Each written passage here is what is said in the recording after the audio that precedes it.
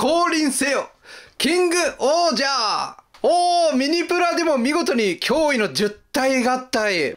いいデザインだよね。各部を動かしてアクションどうこれデラックスではできないような細かいアクションポーズを取らせることができるわけです。あとは設置性もバッチリですね。しっかりとこのように立たせることができます。違うんだよ、母ちゃん。ウォーターファの決めつけてウォーターファのミニプラを崩せ。集合と。動画をご覧に皆さん、こんにちは、おたファです。今日紹介するのは、これだ。王様戦隊キングオージャーミニプラシュゴット合体シリーズ01キングオージャーセットだ。おー、全国のガング野郎、集結せよ。それでは早速行きましょう。おー、ミニプラが発売されましたね。デラックスも合体し、フルアクション仕様なんだけど、今回のミニプラ、どんな感じなんだろうな。非常に気になります。ちなみにセット箱はこのようになっています。お、早速、02の告知がありますね。三大シュゴット、6月発売予定ですね。これは楽しみ。10体のシュゴットが完全合体。単品版も見ていきましょう。ラインナップは全部で6種類です。ゴッドクワガタが A と B で完成するのかな ?2 つ。それからそれぞれのナンバーに2体ずつシュゴットが入っているという感じですね。01開けよう。開けろ。お、これ箱にパンパンに入ってる。じゃーん、こんな感じですね。パッと見た感じ、パーツがかなり細かいですね。あ、あと、本体の美味しいラムネ。全部開けちゃいましょう。こんな感じですね。ボリューム的にはそこそこあります。組み上がると、こうなります。おー、できましたミニプラ版。シュゴット10体が並んでいます。そうだね、ゆっくり組み立てて、シールも全部貼って3時間ぐらいといった感じです。で、このキングオージャー組み立てるときに2つ注意ポイントがあります。気をつけたいところですね。特にゴッドクワ型なんだけども、細かい小さなパーツを組み立てるっていう工程がたくさんあります。動くところ。関節とか、まあこういった同じようなパーツですね。こういったものが結構あったりとかするんで、まあ、ゆっくり説明書を見て少しずつ組み立てるのがいいかなと思います。それからシール。今回は特に曲面、こうなだらかなところですね。こういったところに貼るシールが多かったです。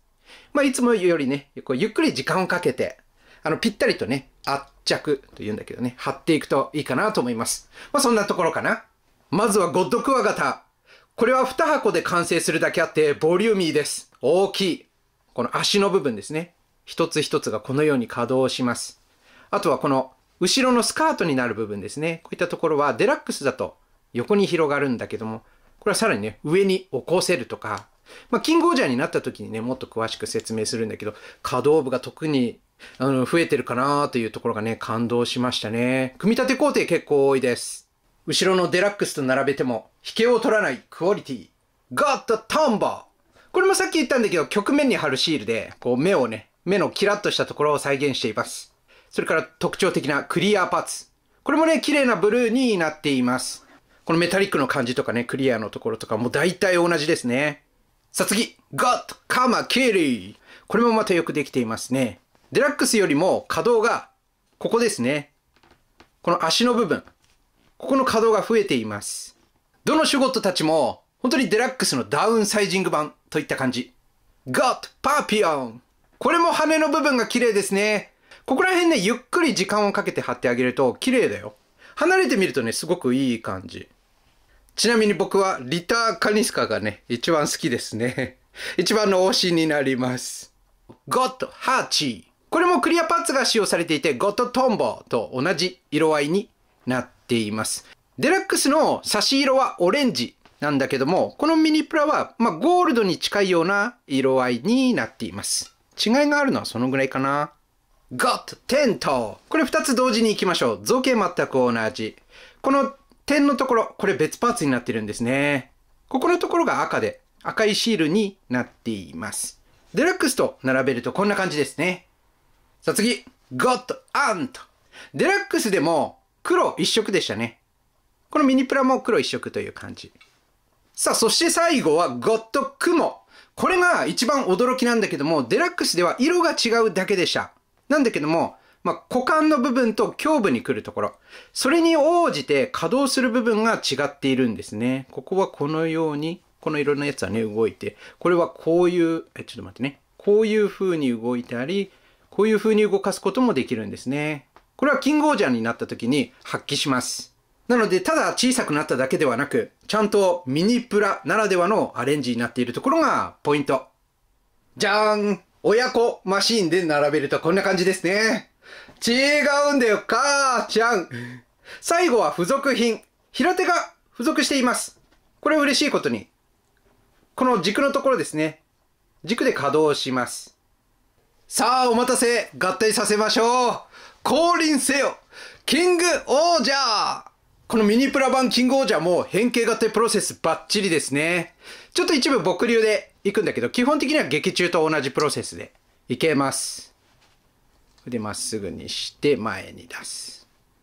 可動軸が多いので、ゆっくり動かしましょう。根元の部分を持つといいです。まっすぐにし、このようにすると。そしたら、これですね。これをこっちに下げて、ここの軸で回転、こっちに持ってくると。ですね。反対側もこのように持ってくると。そしたら角を、顎を前に持ってきます。こうですね。そして、このパーツを下に倒して開く。あとはこれか。このようにすれば、これでゴッドクワガタの合体準備完了。足。ゴッドカマキリ。腕と頭を整えて足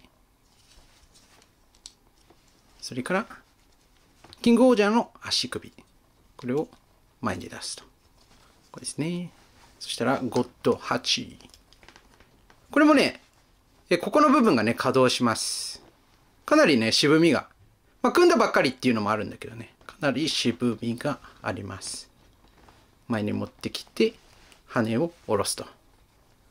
が、本体に接続。合体ジョイントは軸ですね。かなりこれも渋みがあります。さあ、そしたら、ゴッドテント。これもデラックス同様にパチッといくタイプになってます。このパチッとちゃんといくところがね、気持ちよくていいです。そしたら、トンボ行きましょう。二分割。そしたら、レールもね、ちゃんとあります。このレールに沿って本体をスライドさせて、軸で接続するというパターンです。このように押し込むと。あ、トンボね、ちなみにここの角度も変わるんだよね。これすごいよね。ちょっと一回こんな感じにして、足を合わせましょう。羽に沿うように形を整えると。さあそしたら、ゴッドパピオン。これはこのようにね、引っ張ると外れます。で、この足の部分を前に持ってきて、ここのジョイントを使って本体に接続。そしたら、ゴッドクモ。ここ。ちなみにね、これはね、フロントスカート的な稼働をするから前に稼働すると。これが生きてんだよね。それからもう一つのゴッド雲。これはここが稼働します。上に起こして、で、ジョイントで接続すると。腕周りを動かした時に、まあ、こういったところをね、稼働させるんで、表情をつけられると。この雲のアレンジ素晴らしいね。さあ、そしたら、剣を組み立てましょう。トンボとパピヨン。そしたら、ゴッドアント。取り付けます。ちなみにデラックス同様に他のところにもね取り付けられます。で手に持たせて角を開き頭部の角を上に起こせば合体完了キングオージャーだおおミニプラでも見事に驚異の10体合体もうデラックスとほぼ変わらない合体パターンでしたね。いや、改めてこのキングオージャーってさ、僕すごいかっこいいなと思うんだけども、やっぱ、こう10体合体してるんだけど、しっかりまとまってて、いいデザインだよね。これをミニプラでこう堪能できるわけですね。手で持ってみましょう。なんだろうな、心なしか10体合体なんで、なんかこういつもより少しボリュームがある気がするな色もいいし、クリアパーツもしっかり使われてるし、シールによるメタリックの輝きとかもいいね。いいプロポーションしてます。フェイス部分はシールとなっています。組み立てる前に貼り付けるタイプになっていて、しっかり貼ってあげると立体感が出ていいです。可動も見ていきましょう。さすがはミニプラ。これはね、デラックスよりも可動範囲が多いです。いろんなところちょっと動かしてみましょう。あの、こういうところがね、デラックスだと干渉してました。これがそれぞれ動くんで、もう本当に全然、まあ、干渉っていうのは要するにぶつかる？ぶつからないようにちゃんとこうね、動くように、あの、配慮されています。ここも二重関節ですね。ここはデラックスと同じなんだけど、クリックがない分、かなり細かく表情をつけられるかなという感じです。えー、こっち側にね、稼働させることもできます。それから足。足を前に出すときは風呂、えー、ここ。雲がね、こういう風に動くと。これはよく考えたね。より自然なポーズになるわけですね。二重関節になっています。デラックスは一軸だったかな。もう大きく稼働するんだよね。あとは足首のところ。これでちょっと見てみようか。これ内側にこういう風に切れたりとか。これデラックスにはなかったやつですね。それから、あまあ、こういう前後稼働ができるというわけですね。あとは腰か。腰もね、ちゃんと稼働します。さらに、横に開く以外にも、外にのけぞらすことも可能。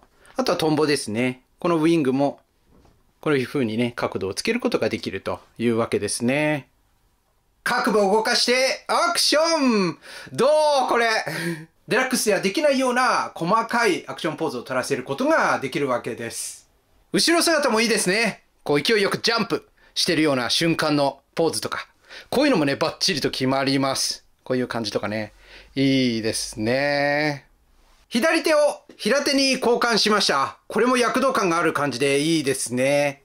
特に角度をつけられるんで、細かいポーズをつけられることができます。あとは設置性もバッチリですね。しっかりとこのように立たせることができます。可動範囲がとにかく多いので、派手なね、アクションポーズもバッチリ決まるし、こう静かに立たせると、こうドシッとしたスーパーロボットのね、この重量感を楽しむことができます。デラックスの時と同様、というか設定同様にね、後ろに剣を取り付けておくこともできます。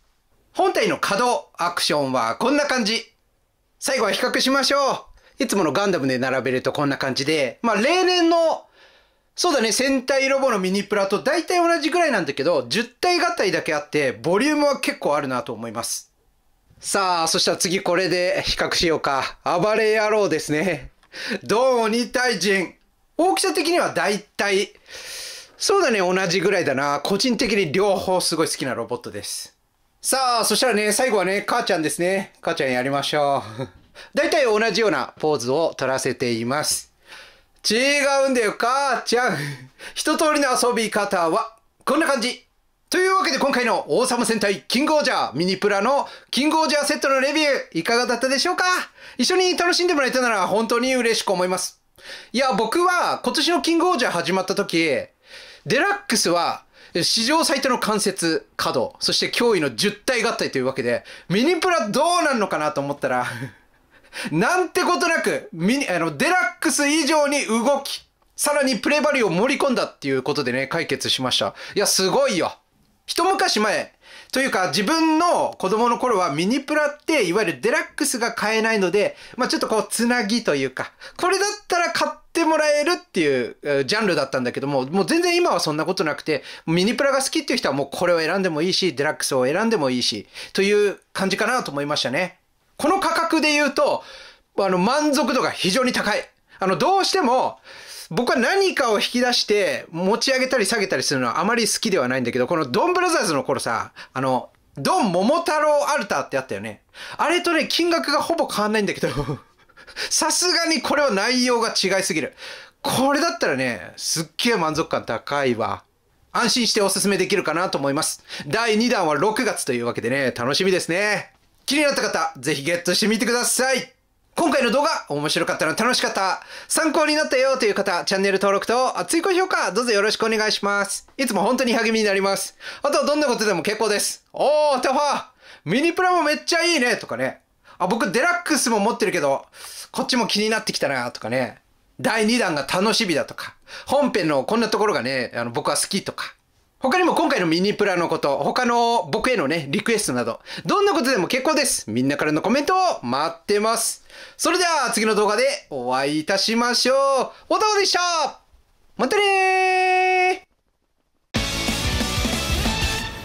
ガンリアの集結せよミッションを繰り出せよ変形が赤い憧れてた夢のトランスフォー私の秘密基地